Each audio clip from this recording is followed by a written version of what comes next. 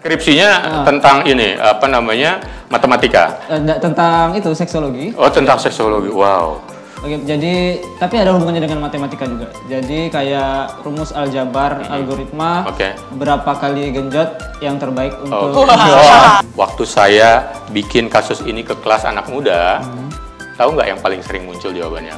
apa? Dok, yang salah itu orang tua dok. Ngapain hubungannya dilarang-larang hari gini? Sebenarnya saya detektif Conan. Oke. lagi menyelidiki mm, kasus yang lagi viral terbaru itu dok. tentang bayi buang. Bayi. Bayi, Bayi buang maksudnya bayi Iya, dibuang. bayinya dia buang. Mike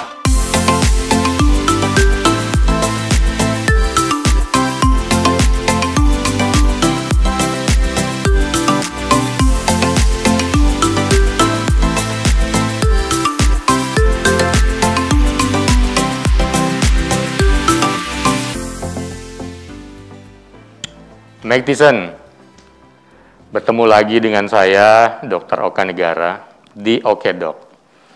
Sebuah acara diskusi yang menampilkan tamu-tamu saya yang luar biasa, energik, eh, menghibur, tapi tetap semuanya akan memberi manfaat buat para Mike Tyson.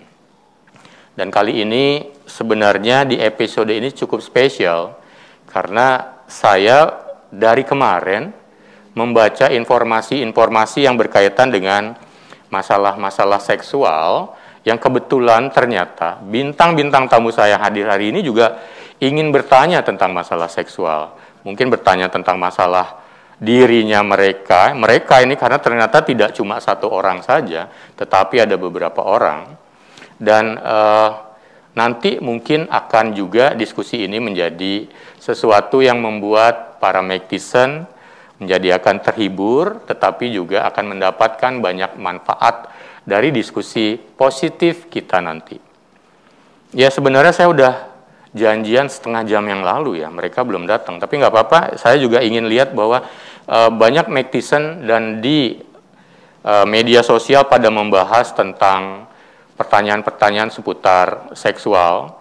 Ini ada yang bertanya tentang, masih bertanya tentang vaksin misalnya, vaksin yang dihubungkan dengan apakah vaksin bisa mengakibatkan eh, disfungsi ereksi katanya. Apakah vaksin juga bisa memperbesar kelamin laki-laki? Oh itu seru sebenarnya semuanya. Eh, tetapi juga belakangan ini ada kasus-kasus seputaran pembuangan orok ya atau bayi yang kelihatannya banyak orang yang kemudian menaruh simpati, empati, kok bisa ini terjadi? Bagaimana ini? Ternyata pelakunya adalah anak-anak muda. Maksudnya mereka yang ayah dan ibu dari si bayi ini kelihatannya masih cukup muda juga. Apa yang terjadi rupanya dengan mereka? Eh, ini ini memang cukup menarik sebenarnya kita lihat untuk dibahas. Tapi ntar dulu deh, saya benar-benar ingin menunggu nih teman-teman muda. Ini saya anggap sudah adik-adik saya semuanya yang dari tadi harusnya datang tapi belum datang. Mudah-mudahan mereka. Nah, baru ditunggu. Halo dokter. baru aja ditunggu. Oke, oke, oke, oke. Gimana kabarnya? Gimana? dulu. Waduh. Protokol kesehatan dok. Oke. Aman ya? Dari tadi loh ini udah ditungguin. Di sini, sini, sini, sini. Ya. Berapa? Eh, 45 dok. Ya, Oh, God. silakan istirahat.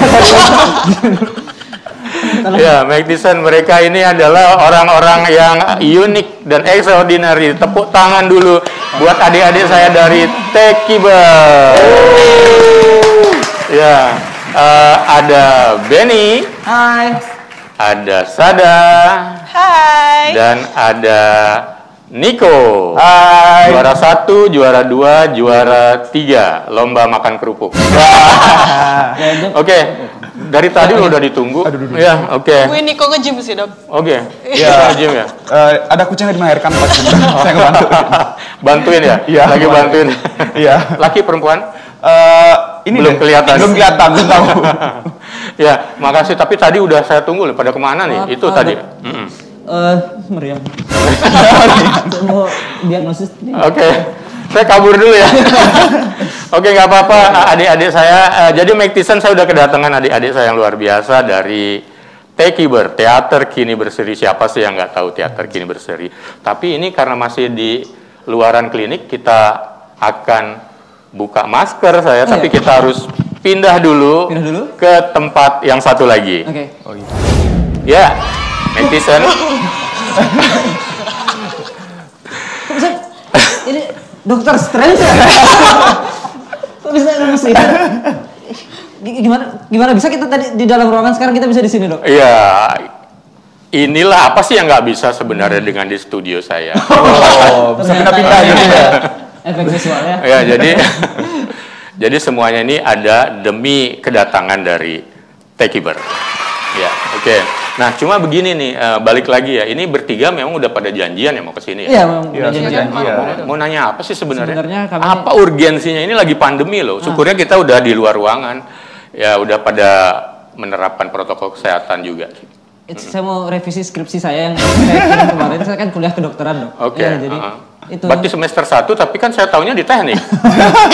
Ya, sekarang ini- kedokteran gitu? Ini ya teknik itu teknik CPR. Oke. Nah, terus skripsinya tentang ini apa namanya? Matematika. Eh, nggak tentang itu seksologi. Oh, tentang seksologi. Wow. Oke, jadi tapi ada hubungannya dengan matematika juga. Jadi kayak rumus aljabar, algoritma, Oke. berapa kali genjot yang terbaik untuk Oh. Keturunan. Oke, oke. Jadi nanti kita jawab. ya. kita janji akan membahasnya itu nanti. Oke. Jadi ini eh, kami aku sama Sada lagi nganterin Niko nih dok. Hmm. Ya, Jadi dia tuh kemarin ada masalah gitu Ada dok. masalah ya? Seksualitasnya. Oke. Iya, di tempat gym saya, Dok. Ada masalah di sana. Oke. kenapa di tempat gymnya? Gitu loh. Apa Bingung banget saya di sana. Kenapa? Bingung Ada- pegangan-pegangan. Iya, saya megang, saya megang semua orang-orangnya. Dipegangin semua. Iya, dipegangin kaget saya. Apa nih? Apa nih? Masalahnya apa nih? Mm-mm. Kami ini sedang menyelidiki sebuah kasus dok. Iya. Sebenarnya saya detektif Conan. Oke. lagi menyelidiki mm, kasus yang lagi viral terbaru itu dok. Tentang bayi buang. Bayi. Bayi, Bayi buang, maksudnya bayi Iya, dibuang. bayinya dia buang. Bukan bayinya yang buang. Bayi yang Bayi yang terbuang. Iya, Iya. bayi terbuang. Heeh. Itu ditemukan di mana ya waktu itu? Di semak-semak tuh. di semak-semak, di bebet. Artinya dia di ada bayi ditemukan di sebuah tempat yang mungkin disembunyikan ya. Iya. Kebetulan Tapi- itu di rumah dekat rumah Niko. Dekat Jadi kita rumah Iya itu udah saya kaget dok, saya nemu tiba-tiba. Oke. Ada suara bayi nangis-nangis sana. Saya kira apa itu? Oke. Loh ternyata bayi. Iya. Eh, Tapi kasihan ya dok ya Iya. masih masih masih muda gitu udah dibuang. ya, eh, masih cilik sih bukan masih muda. Jadi eh, apa memang uh, sudah eh, nature-nya manusia itu menyia-nyiakan dok, dok ya. Kadang juga ada kita masih dalam bentuk sperma juga suka dibuang. Iya. Tangannya nggak usah ikut. Eh, berujung di apa? Toilet. Iya toilet. Udah lahir dibuang juga. Iya. Apa kita Itu malah ada yang nanya kemarin, lu kepleset kan di toilet ya, belum jadi anak udah kurang ajar. sama lu."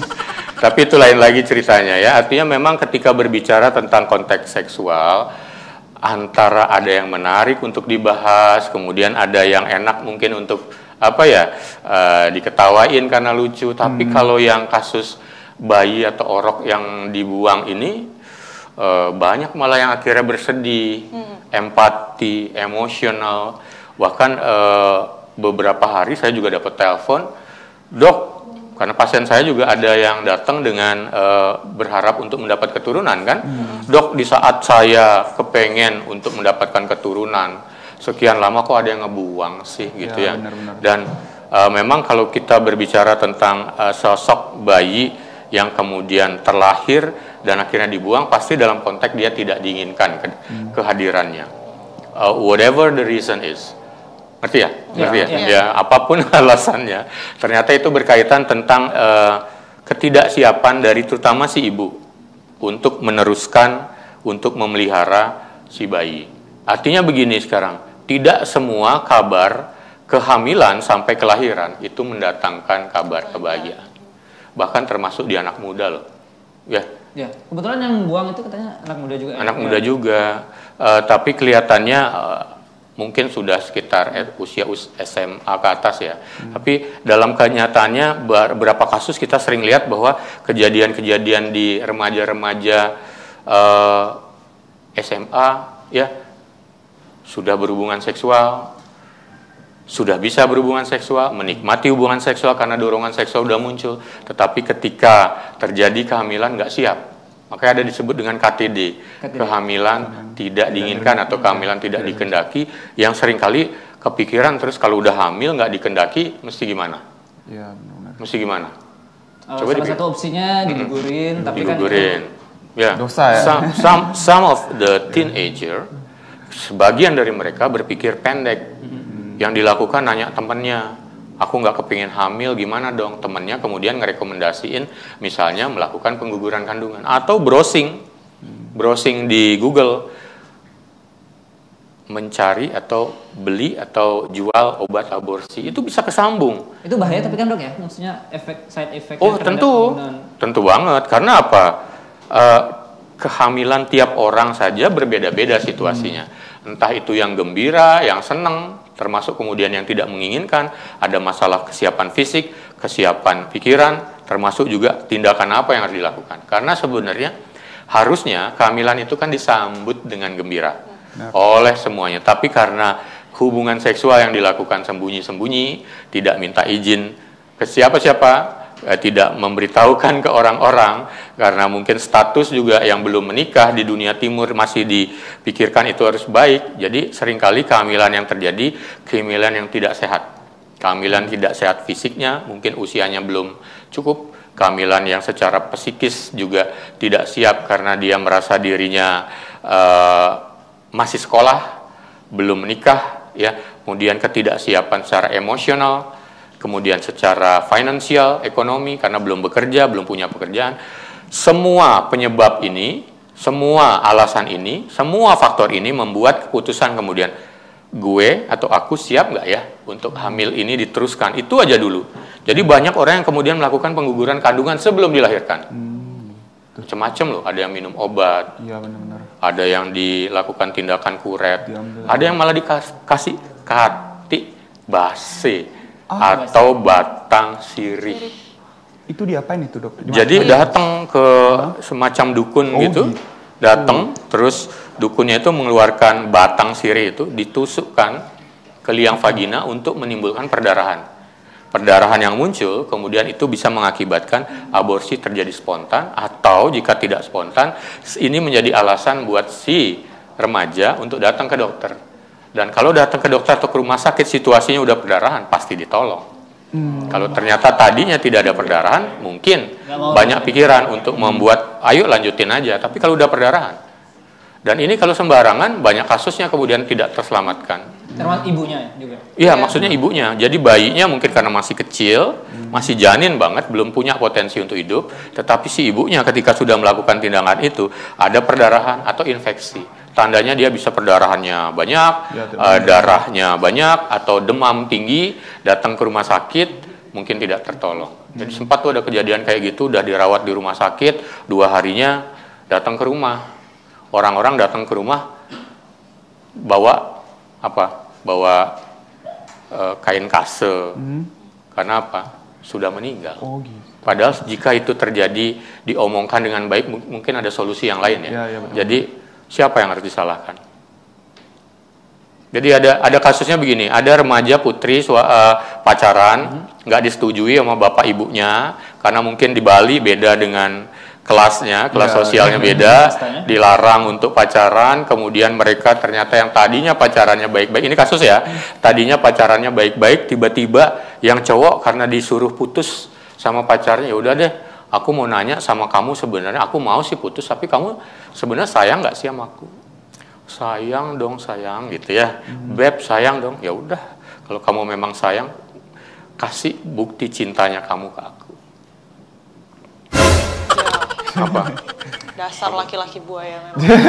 Kayak gitu. Eh dok, tapi mis- misalnya eh, kan Akhirnya mereka melakukan itu, Eh, dikit lagi ya, Ya. melakukan itu, tapi si cowok akhirnya suwut nih, putus, mau mengikuti anjuran itu, tapi ternyata si cewek nggak datang bulan.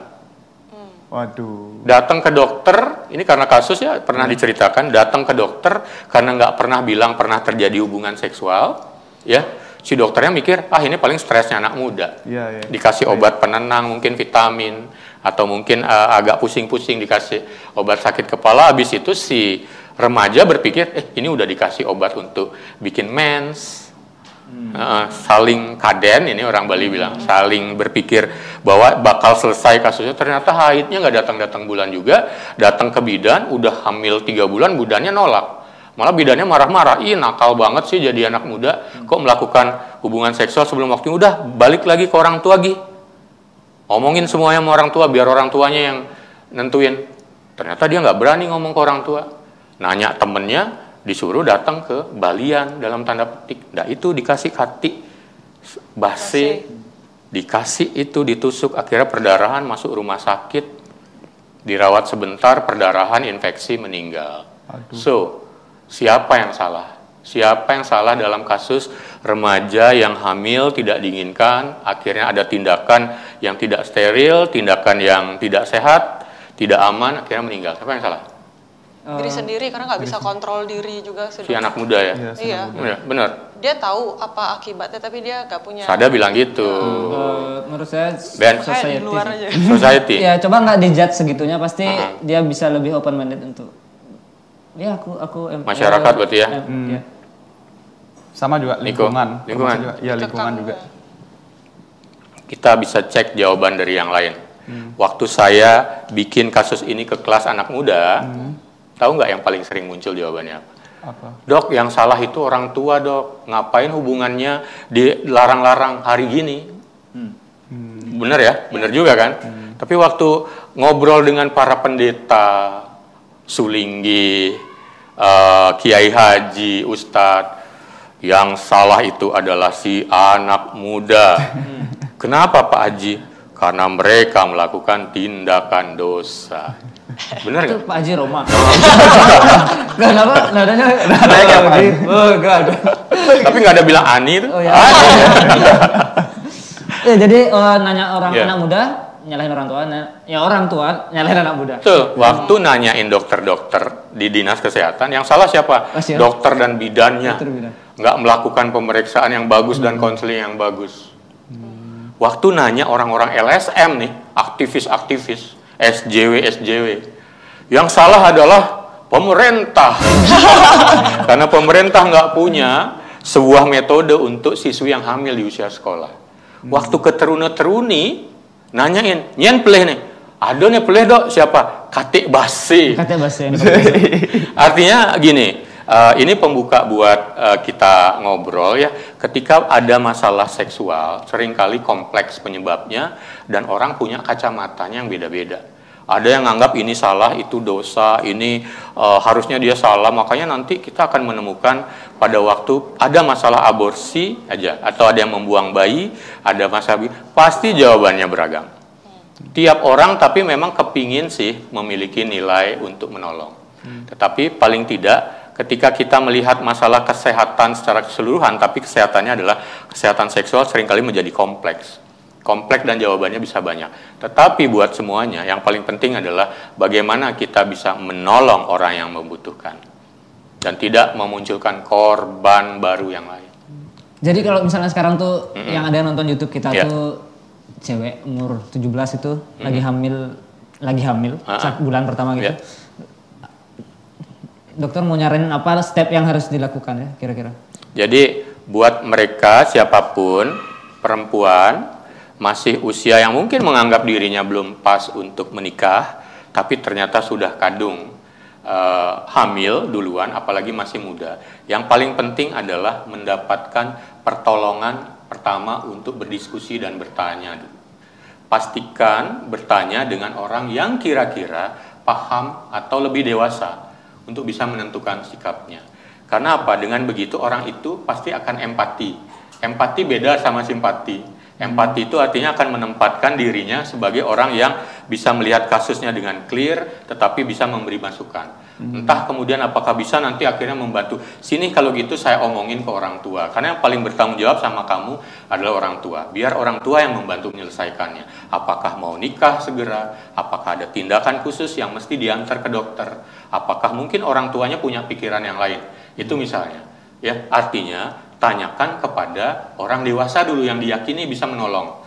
untuk paling tidak berdiskusi dulu untuk mendapatkan empati, dukungan. Berarti jangan tanya sama adiknya ya. Nah, jangan tanya kepada orang-orang yang nggak jelas, adiknya yang nggak tahu, apalagi teman-temannya loh. Iya, yang iya. kadang-kadang teman-teman juga yang muncul bukan empati tapi simpati. Beda empati sama simpati. Simpati apa? Ikut merasakan rasa Sedihnya. sedihnya, Tapi bahkan ngasih- bisa bisa berlebihan. Iya. Kamu hamil eh, sedih kita nangis semuanya, wah gitu nangis semuanya, tapi nggak tahu habis itu mau ngapain.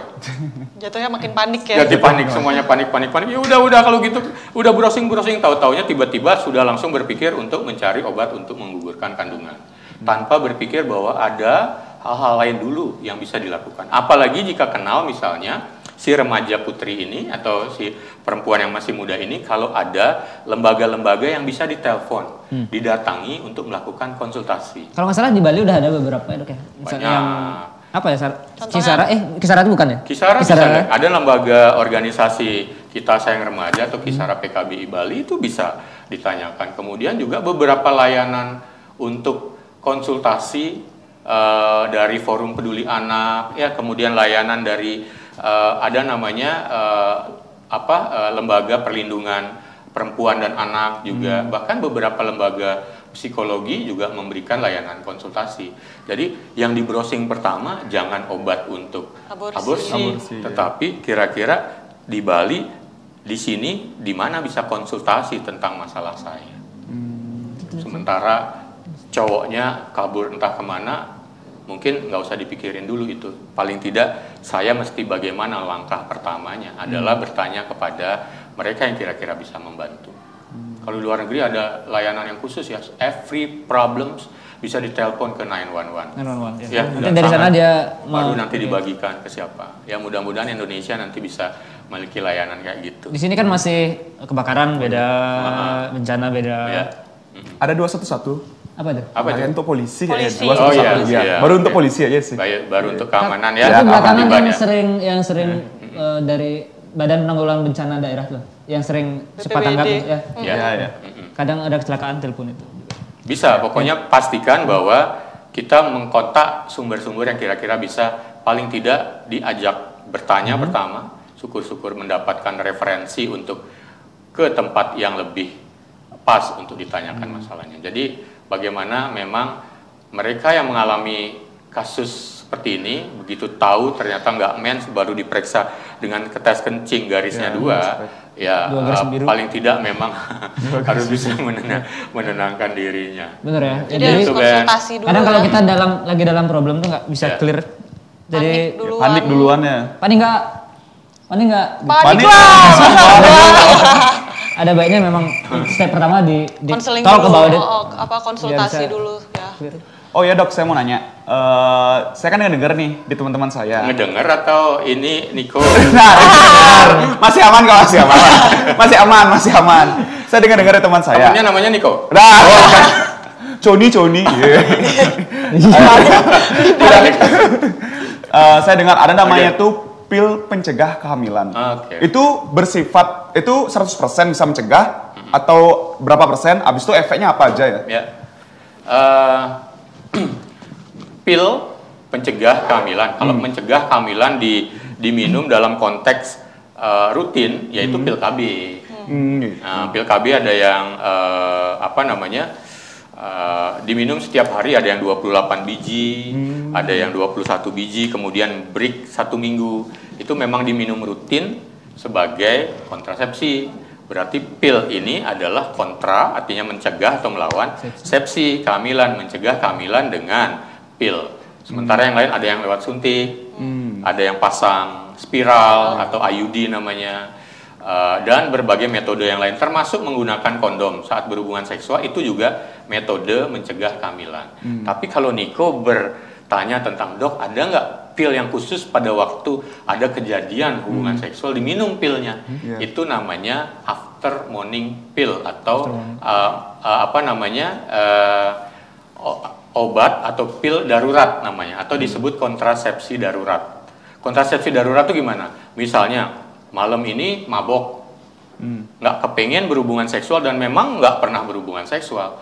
Tiba-tiba gara-gara mabok, ada yang mengajak berhubungan seksual. Taunya mungkin setelah besok paginya tahu ini kok kayaknya nggak nggak kayak gini harusnya aku berpakaian dan ada di sini. Kok ada cairan-cairan tertentu yang kelihatannya ini cairan uh, sperma gitu mungkin ada bekas-bekas. Aduh aku diperkosa nih. Aku nggak nggak sadar aku ternyata diajak berhubungan seksual. Aku nggak mau nih. Aku nggak mau aku hamil nih. Jadi pil yang tadi pil kontrasepsi darurat bisa dipakai. Morning after pill atau after morning pill. Dan itu diminum biasanya dalam hitungan besoknya atau dua harinya atau paling lambat tiga harinya. Diminum sesuai dosis. Saya nggak nggak nggak usah menyebutkan merek ya, ya nanti ya, kalau datang ke dokter baru bisa. Ya, itu ya. itu sifatnya karena sesuatu hubungan seksual itu yang mungkin tidak diinginkan tidak direncanakan tiba-tiba mendadak atau secara darurat terjadi dan kemungkinan diduga bisa terjadi kehamilan. Bahkan pada mereka-mereka yang juga misalnya uh, sudah berusaha untuk mencegahnya dengan kondom. -hmm. tapi ternyata baru di uh, selesai berhubungan seksual dilihat kondomnya kok ada yang netes dari ujung kondomnya. Berarti kondomku ini robek atau bocor. Yeah. aduh bisa hamil. Nah itu bisa juga pakai hmm. uh, kontrasepsi pil yang darurat tadi itu. Menarik ya ada pil yang bisa menghilangkan tapi aman ya ya?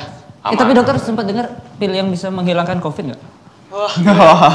pil kada pil kada lupa bisa ya pil lupa iya. Ini kalau tadi udah ngomongin bayi bayi uh, terlantar terus nih yeah. uh, pil pencegah kehamilan. Mm -hmm. Kalau saya kan sebagai cewek yang penting tuh terlihat menarik gitu ya dok ya. Bener gak sih? Glossy, glossy. glossy banget. glossy banget. Bener gak sih dok kalau misalnya kita kalau sering berhubungan seksual itu yeah bisa jadi glowing. Oh. atau atau kayak misal ya, jangan dicontohin. Bener loh bener. Apalagi atau kayak dijadiin masker gitu bener gak sih dok? Katanya bikin glowing bener, ya kan? bisa bikin, bikin glowing kalau cewek-cewek sering berhubungan tuh apalagi berhubungan sama om-om.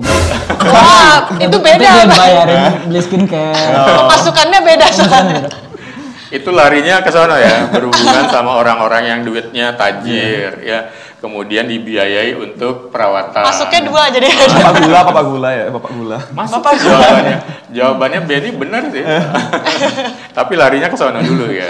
Akhirnya ujung-ujungnya yang bikin dia jadi glowing adalah biaya perawatan. Hmm. Tapi gini, uh, sesuai dengan tadi uh, Sada bilang kan ada ada ada seperti itu ya. Jadi memang banyak pertanyaan yang serupa nih. Contoh, dok benar ya uh, menggunakan cairan sperma laki-laki itu bisa dijadikan masker. Mm -mm. Maskernya jadinya bisa bikin kulit jadi halus gitu. Yeah. Ya, itu nyarinya di mana ya? Biar jadi masker tebel-tebel gitu pertanyaan saya gitu ya.